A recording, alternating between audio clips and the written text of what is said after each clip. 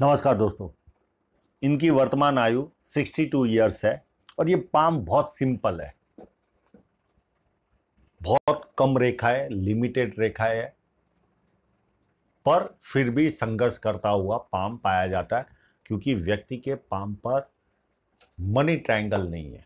जो फोटोग्राफ दिख रहा है, वो हिसाब से मनी ट्रायंगल दिख नहीं रहा है। पाम का कलर अच्छा है तो व्यक्ति के जीवन में प्रेजेंटली काफ़ी सुख शांति होगी। और यहाँ पर एक अच्छी सी साइन बन रही है। ये साइन के कारण व्यक्ति समझदार बन जाता है। समझ शक्ति व्यक्ति में ज़्यादा होती है। और अपॉर्चुनिटियाँ जो जीवन में आती है, उसे ये उठाने में काफ़ी एक्सपर्ट होते हैं। पाम को देखे तो ये पाम एक स्क्वेरिश पाम है। तो व्यक्ति मेहनती भी होता है और मेहनत करके अपने जीवन को सफल बनाने की कोशिश करता है और सफल बनाता भी है। अंगूठा मध्यम है तो मध्यम पर्सनालिटी होगी, पर फैलेंज नुकीला है तो कार्य के प्रति जिद भी रहती है, और सेकेंड फैलेंज भी एवरेज टाइप है तो व्यक्ति तथ्यों के साथ लॉजिक के साथ अपनी बात बताने में भी एक्सपर्ट होता है। उंगलियाँ बड़ी है तो व्यक्ति एनालिटिक पर्सनालिटी होता है, और फ़र्स्ट फैलेंज भी इनके काफ़ी बड़े हैं तो थोड़े से जीवन में ये लोग स्लो हो जाते हैं। उतने फास्ट नहीं रहते, क्योंकि ज़्यादा एनालिटिक करने वाला व्यक्ति फास्ट नहीं बनता। सोचने में अच्छा खासा समय उसका चला जाता है। फ़र्स्ट उंगली थोड़ी सी बैंड हो रही है तो धार्मिक भावना होगी और सूर्य की उंगली बड़ी है तो हिम्मती स्वभाव की ओर इशारा जाता है। छोटी उंगली फ़र्स्ट फैलेन तक पहुँच रहे तो व्यक्ति डॉक्यूमेंटेशन चीज़ों को संभाल कर रखना, याद शक्ति मनी मैनेजमेंट और अकाउंट्स ये सारी चीज़ों में व्यक्ति एक्सपर्ट होता है। और इनके थर्ड फैलेंज उंगलियों के, एक सपाट है, यानी चपटे है। तो व्यक्ति बिज़नेस करने में मास्टर होता है बिज़नेस माइंडेड होता है। अब ये बुद्ध पर्वत पर, यहाँ पर एक भी खड़ी लाइन नहीं है। मेरे दो वीडियो थे जो थोड़े से वायरल हुए कि यहाँ पर लाइन न हो तो व्यक्ति अपना घर का खर्च भी ढंग से चला नहीं पाता। अब ये इनके हाथ में ये लाइन नहीं है, पर उसके कारण बहुत लोगों की भावनाएँ हर्ट हो रही थी। बहुत सारे नेगेटिव कमेंट आ रहे थे तो मैंने उन दोनों वीडियो को अच्छे खासे व्यू मिलने के बावजूद भी मैंने उनको प्राइवेट कर दिया। क्योंकि मेरा मकसद किसी का दिल दुखाना नहीं है। पर मेरा भावार्थ इतना था, जब यहाँ पर एक लाइन नहीं होती तो पुराने जमाने में बाटर सिस्टम चलती थी, शादी ब्याह में भी, कि आपकी लड़की मेरे घर आई तो मेरे लड़के को आप ले लो। यानी एक तरह का कॉमर्स टाइप का काम होता था, जो आज की तारीख में नहीं होता। तो कहीं पर मैंने पढ़ा था कि इस तरह की लाइन ना हो तो व्यक्ति अपने बच्चों का भी ब्याह खुद की मर्ज़ी से नहीं करा पाता, किसी और की हेल्प लेनी पड़ती है। और परिवार के खर्च चलाने में भी व्यक्ति को परिवार की हेल्प लेनी पड़ती है। और मेरे पामिस्ट्री जीवन में ऐसे दो चार किस्से भी आए थे इस तरह की लाइनों वाले, जिनके हाथ में इस तरह की रेखा नहीं थी। तो मैंने वीडियो बनाया पर यहाँ पर मैं किसी की भावना दुखा, दुखाने नहीं आया। मैं ज्ञान बांटने आया हूँ और पैसा कमाने आया हूँ। तो मैंने उस वीडियो को कर दिया, पर अब इनके हाथ में ये लाइन नहीं है। तो इनके जो संतान है वो मेरे अच्छे खासे टच में आ गए। तो मैं इनसे पूछ लूँगा कि इनके जीवन में यहाँ न लाइन होने के कारण क्या इफ़ेक्ट आया। तो मेरा ज्ञान और बढ़ेगा। अब इनकी एक और खासियत, इनके हर जगह पर ट्राइडेंट बने हुए यानी हर ग्रह की शक्ति को इजाफा मिला हुआ है। इंक्रीज हो जाती है शक्ति। सूर्य पर्वत पर भी ट्राइडेंट है।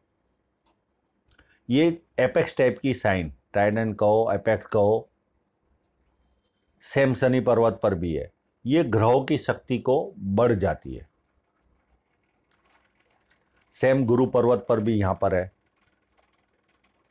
तो जब इस तरह का साइन होता है, इनके मेजर साइन कुछ भी नहीं है, केवल ट्राइडेंट है इनके हाथ में। तो ये ग्रहों की शक्ति को और बढ़ा देते तो संघर्ष के बावजूद भी ये एक व्यवस्थित जीवन जिए होंगे। ये इनकी ट्राइडेंट से दिखता है। क्योंकि सारे ग्रह पावरफुल हो जाते जब सारे ग्रह पावरफुल होते तो व्यक्ति संघर्ष करते करते भी समृद्धि की ओर बढ़ता है। ये उस तरफ़ इशारा जाता है। बुद्ध पर्वत अच्छा है, इनका काफ़ी बड़ा है। तो व्यक्ति बोलने के कार्य में महारत हासिल करता है। व्यापार के गुण उसमें होते ही है। सूर्य पर्वत पर भी देखे तो ट्राइडेंट है, पर एक हल्की सी रेखा है। जनरली हल्की सी रेखा हो तो पाया जाता है कि व्यक्ति शुरुआती जीवन में इजीली सेटल हो जाता है। तो हो ना हो, क्योंकि इनकी फेट लाइन है तो शुरुआती जीवन इजीली सेटल हुआ होगा इनका। बाकी कोई स्पेशल साइन इनके हाथ में नहीं है। शनि पर्वत काफ़ी फ्लैट है। तो व्यक्ति में आलस नाम की चीज़ नहीं होती। और एक रेखा गुरु पर्वत की ओर जा रही है। तो इनके जीवन में मुझे जहाँ तक जानकारी है, सरकारी लाभ इनके जीवन में है नहीं, पॉलिटिकल लाभ इनके जीवन में है नहीं। ससुराल पैसे वाला है कि नहीं, पता नहीं। पर इनके संतान अच्छी इनकम कर रहे और जब गुरु की ओर कोई भी फेट लाइन जाती है तो व्यक्ति की समृद्धि की ओर भी इशारा जाता है। यानी अच्छी इनकम की ओर इशारा जा रहा है। तो ये कंफर्टेबल इनकम जब तक जिएँगे, तब तक इनके जीवन में आती रहेगी। क्योंकि एक कंफर्टेबल इनकम की लाइन है। चाहे ये खुद कमाए या इनके संतान कमाए, पर इनकम के मामले में ये काफ़ी अच्छे रहेंगे। बुढ़ापे में। गुरु पर्वत देखे तो केवल यहाँ पर थोड़ा सा छोटा है। बहुत ज़्यादा छोटा तो नहीं, पर थोड़ा सा छोटा है। और इस तरह का गुरु पर्वत खुद के परिवार का तो सुख काफ़ी अच्छा देता है। पर कहीं ना कहीं थोड़ा सा उभार यहाँ पर है तो हो ना हो, थोड़े से पारिवारिक मतभेद इनके जीवन में रहते होंगे। पर फिर भी मैं कहूँगा ट्राइडेंट आ गया तो व्यक्ति को पारिवारिक सुख प्राप्त होता ही है और सांसारिक सुख भी अच्छा खासा जीवन में रहता है। अब अंदरूनी मंगल देखे, अंदरूनी मंगल एकदम क्लीन, कोई ज़्यादा टेंशन नहीं होती है व्यक्ति के जीवन में, जब कम लाइनें होती है तो। ज़्यादा चिंता करने वाला व्यक्ति नहीं बनता, ऐसा कहा जाता है। दूसरी चीज़, जब उभार होता है तो व्यक्ति के शरीर में एनर्जी अच्छी खासी होती है। हाँ एक माइनस पॉइंट होता है, जो शुरुआती जीवन होता है, जो जवानी का पीरियड होता है, उस पीरियड में व्यक्ति अपशब्दों का प्रयोग करता है, ये एक माइनस पॉइंट पाया जाता है, जिनका अंदरूनी मंगल। पर शरीर की एनर्जी काफ़ी अच्छी होती है। यहाँ पर देखे तो भारी मंगल इतना पावरफुल नहीं है। जिस तरह का होना चाहिए। तो किसी से तो एनर्जी के साथ मिलते और किसी के साथ पहले सेफ्टी लेते, सामने वाले को चेक करते, ये मिलने जैसा है कि नहीं, आगे बढ़ने जैसा है कि नहीं, फिर आगे बढ़ते। अब इनका चंद्र पर्वत काफ़ी पावरफुल है और मैं हर वीडियो में कहता हूँ, अगर आपका चंद्र पर्वत अच्छा है तो जीवन के किसी न किसी मोड़ पर आपका विदेश से संबंध आता ही है। और इनका भी विदेश से संबंध इनका नहीं आया, पर इनडायरेक्ट इनके संतान विदेश में कमा रहे। तो उसके कारण इनका विदेश से संबंध आया। तो आपका संबंध चंद्र पर्वत लाता ही है।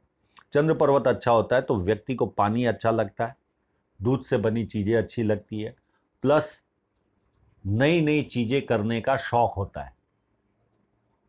प्लस रिफाइंड सोच होती है। सोच का जो तरीका होता है, वो काफ़ी अच्छा होता है। और इस पाम में देखे तो मुझे कोई मनी ट्रायंगल दिख ही नहीं रहा है। तो जब किसी के पाम पर मनी ट्रायंगल नहीं होता है तो जीवन भर संघर्ष करते पाया जाता है। जूझता है। ये एक माइनस पॉइंट इनके जीवन में रहा होगा। अब चलते शुक्र पर्वत। शुक्र पर्वत पर भी देखे तो एक बढ़िया सी लाइन आ गई। ये लाइन व्यक्ति को एक व्यवस्थित जीवन देती है। और शुक्र पर्वत काफ़ी क्लीन है तो बिना झंझटों के व्यक्ति जीवन जीता है। कंफर्टेबल लाइफ जीता है, रिलैक्स वाली लाइफ जीता है और अच्छी तरह रहता है। तो ये शुक्र पर्वत काफ़ी अच्छा है इनका। अब चलते इनकी हृदय रेखा हृदय रेखा देखे तो ये शनि पर्वत से शुरू होकर ये सीधी चल रही है और थोड़ी सी मंगल की ओर झुकाव है। तो जब किसी रेखा का मंगल की ओर जो तो थोड़ा सा गुस्से वाला स्वभाव होता है व्यक्ति का। और शनि पर्वत से शुरू हो रही है तो तीन ही टाइप के गुण होते हैं। एक, आँख खोलते ही पैसा कैसे कमाना? उसकी तरफ़ ध्यान जाता है। दूसरी, कामुक भावना रहती है। और तीसरी कभी कभी फ़िज़िकल बनते ये तीन माइनस पॉइंट होते पर इनकी जो हार्ट लाइन है, वो काफ़ी क्लीन है। तो ज़्यादा बोझ लेकर ये जिए नहीं होंगे। कंफर्टेबल लाइफ जिए होंगे। बिना झंझटों वाली जीवन इन्होंने जिया होगा। क्योंकि बहुत डबल रेखा हो या डार्क हो तो व्यक्ति के जीवन में झंझटें बहुत ज़्यादा रहती है। पर इनकी रेखा काफ़ी क्लीन है। अब इनकी माइंड लाइन माइंड लाइन को देखे तो जीवन रेखा से ही शुरू हो रही है और गुरु पर्वत से ही टच होकर, शुरू होकर ये यहाँ तक ही चल रही है। तो माइंड लाइन छोटी है तो व्यक्ति में बुद्धि प्रतिभा कम नहीं होती, पर एक सर्टन लेवल का दबाव आने के बाद व्यक्ति विस्फोटक हो जाता है। ये एक माइनस पॉइंट इनमें रहता है। और इस माइंड लाइन पर भी देखे तो जितनी है तो ये पार्ट में व्यक्ति की थोड़ी सी डार्क है। तो ये जो पार्ट रहा होगा, उम्र लगभग छत्तीस से लेके उम्र पचास अड़तालीस तक व्यक्ति को संघर्ष करते देखा गया होगा। क्योंकि ये लाइन डार्क है यहाँ पर। जब डार्क होती है तो व्यक्ति को उस पीरियड में संघर्ष करना पड़ता है। बाकी बहुत छोटी रेखा है माइंड लाइन तो व्यक्ति थोड़ा सा दबाव ज़्यादा आने पर विस्फोटक बनता है। इसके अलावा कोई माइनस पॉइंट नहीं होता। सेम जीवन रेखा है। काफ़ी स्मूथ जीवन रेखा है। शुरुआत से ही, यहाँ से चली और ये सीधी चलकर पूरी घूमकर शुक्र पर्वत को घेर रही है। तो पारिवारिक सोच वाला इंसान बनता है। जब रेखा घूमती है, परिवार के प्रत्येक व्यक्ति से संपर्क रखता है। ये भी अच्छी खासियत होती है। और इनके पाम पर देखे तो कोई ज़्यादा राहु रेखा है ही नहीं। अगर किसी राहु रेखा ने काटा भी है तो हल्का हल्का काटा होगा। कोई ज़्यादा स्ट्रॉन्ग रेखा नहीं है और जीवन रेखा काफ़ी अच्छी है। तो एनर्जी होती है, शरीर की एनर्जी वो ज़्यादा होगी इनकी। पर ये अंधेरा जैसा लग रहा है तो मैं एकदम परफेक्ट जजमेंट जीवन रेखा का नहीं लगा पा रहा हूँ। क्योंकि इस तरह की अगर रेखा हो तो जाद व्यक्ति थोड़ा सा मोटापा भी रहता है। पर ये रेखा हो सकता है, ये छाव के कारण, उस पर प्रकाश कम आने के कारण इस तरह की दिखती हो।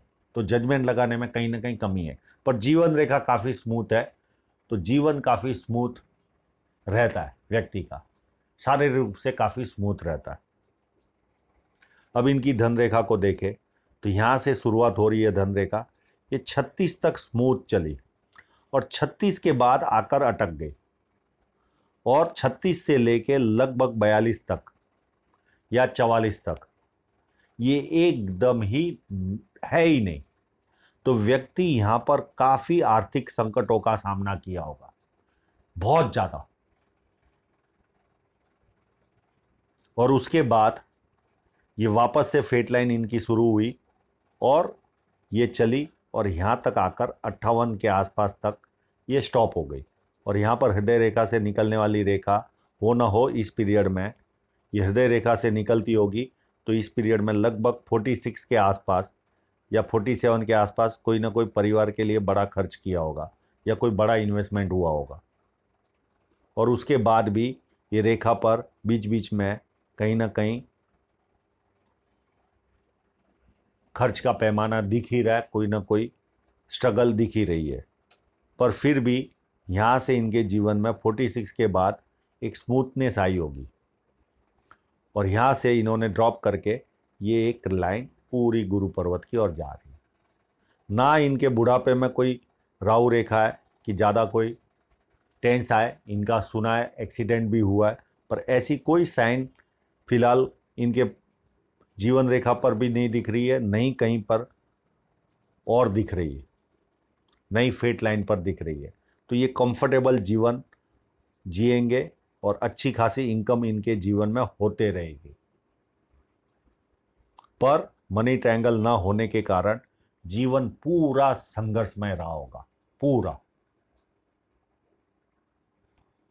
आशा रखता हूँ इनके सभी प्रश्नों के जवाब इनको मिल गए होंगे। और आप लोगों का पूरा वीडियो देखने के लिए बहुत बहुत धन्यवाद।